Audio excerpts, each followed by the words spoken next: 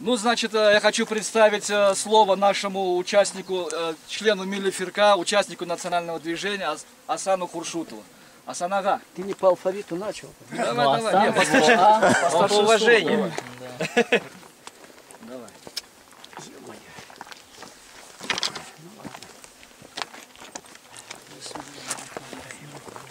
Это у нас, знаете, это у нас разведка была, братцы. Поэтому нас так немного. Разведчиков много не бывает. Вот.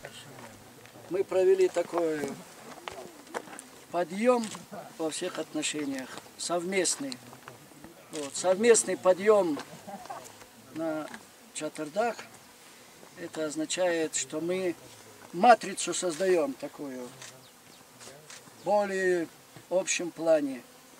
Потому что нам вместе предстоит брать вершины сакральные, политические, геополитические. Вот. Нам надо быть вместе, не только на вершине Чатырдага. Нам надо быть вместе и в будущем, и если хорошо оглянемся, почистим память, мы видим, что в прошлом мы больше были вместе. Вот. И когда это было, мы побеждали. А побеждали мы всегда вместе. А когда нас начали разделять, мы начали проигрывать. Вот я говорю о великой нашей стране. Вот. Русские и татары, ну татары, тюрко-татары. Вот.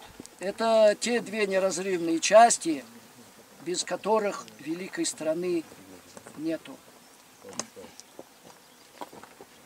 Даже такая ключевая фигура русской истории, с которой даже определенный исследователь, тот же Гумилев это, кстати, отмечал, Александр Невский.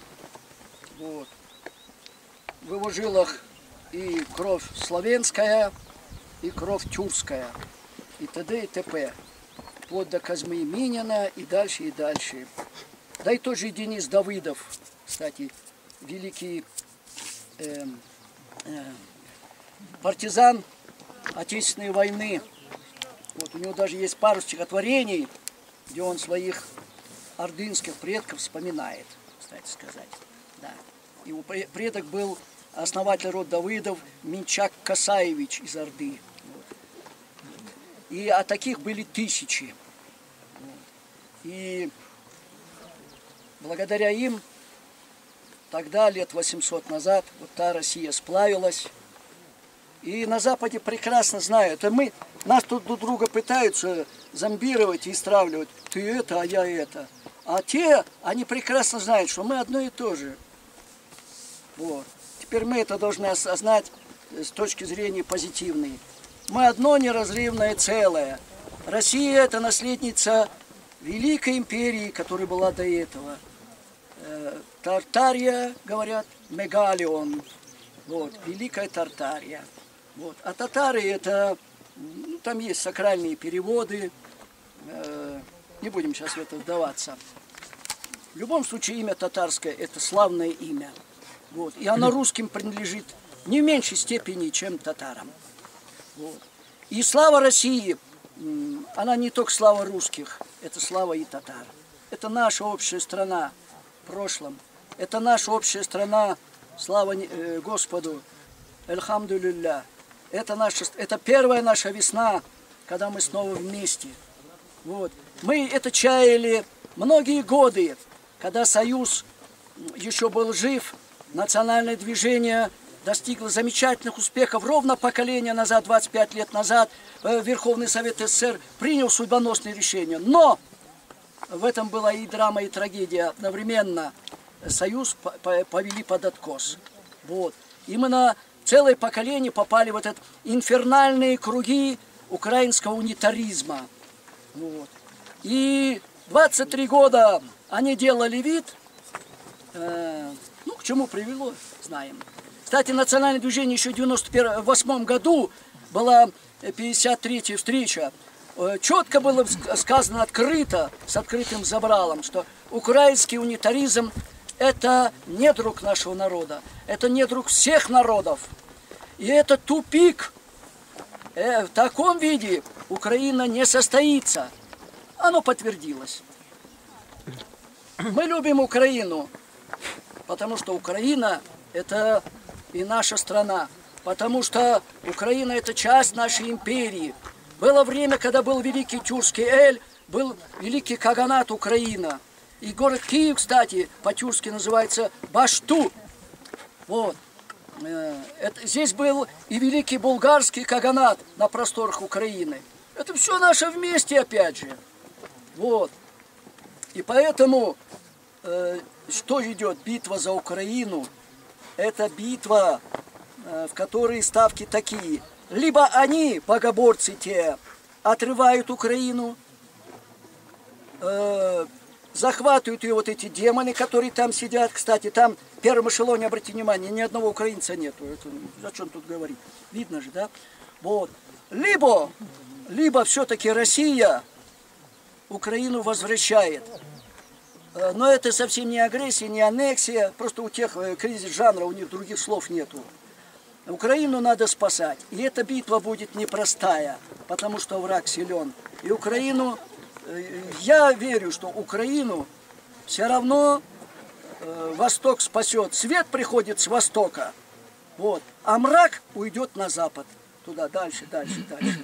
Туда, в агонизирующую Европу. Э, Не буду лекцию читать. Я приветствую всех. Партия от Великое Отечество. Хорошее название, хороший смысл, я полагаю. Милиферка – это национальная партия. Вот это наша руна, это сакральная руна э, в древнем тюркском алфавите. Это буква Ра. Вот. Ра – это, ну, Ра – это Ра, понятно. Да? Все русские слова, там, где есть, где есть Ра, это значит солнце есть, да? Это руна Ра, это э, Ярсу. Ярсу – мать земля. Это такой оберег наш. Поэтому я надеюсь, э, с, с этого года, это год нулевой такой, вот, в этом году будут заложены те здоровые а, основы для взаимопонимания, прежде всего здесь. Понимаете, проблема в чем, я вам сразу скажу искренне, да? Вот э, прошло там два месяца с копейками, и вот я свое говорю. Например, у меня к Москве э, вопросов гораздо меньше, потому что проблема, проблема здесь, вот эта крымская элита, которая все эти годы только и делала, что приспосабливалась под конъюнктуру. Ну, естественно, что могло за это поколение, кто должен был отсеяться и кто остаться. Поэтому проблема сейчас, это вот в них. И то, что они делают за последние два месяца, я не буду сейчас перечень примеров, сами знаете. Э, По-крупному они уже не один раз подставили Россию, подставили ее в Крыму. Но крымский татарин народ спокойный, он не делает скоропалительных выводов. Мы знаем, что великое дел- дело быстро не делается. Я думаю, мы здесь сначала разберемся. И у нас будет, когда мы будем вместе, нам легче будет достучаться до Белокаменной. И оттуда с нашей помощью лучше разглядят, э, кто есть кто в Крыму и как в Крыму вести. Пока еще только идет нащупывание, как в Крыму вести политику. И стратегия, стратегия это понятно, тактика. Вот. Поэтому я э, приветствую всех, мальчики, девочки, все вы героические. Вот. И давайте мы все дети одного Господа Раббиль Алемин, Господин миров. Мы все его дети, он нас всех любит. Вот. Он нам говорит, идите ко мне, разные дороги ко мне. Он щедрый, он никого не, не приволит. Поэтому, если Господь, то, что Господь дал, ну, мы уже тут не лезем. Потому что мы знаем, у него все под контролем. Но это не значит, что мы должны расслабиться, и самой с собой произойдет. Ничего подобного. Вера без дел мертва. Поэтому мы должны, чтобы наша вера жила, чтобы она усилялась, чтобы она охватывала все большее и большее количество умов, и чтобы она вы- выкристаллизовывалась то победное направление, которое приведет нас к вершинам Вот первая вершина, вот она. Не последняя. Спасибо.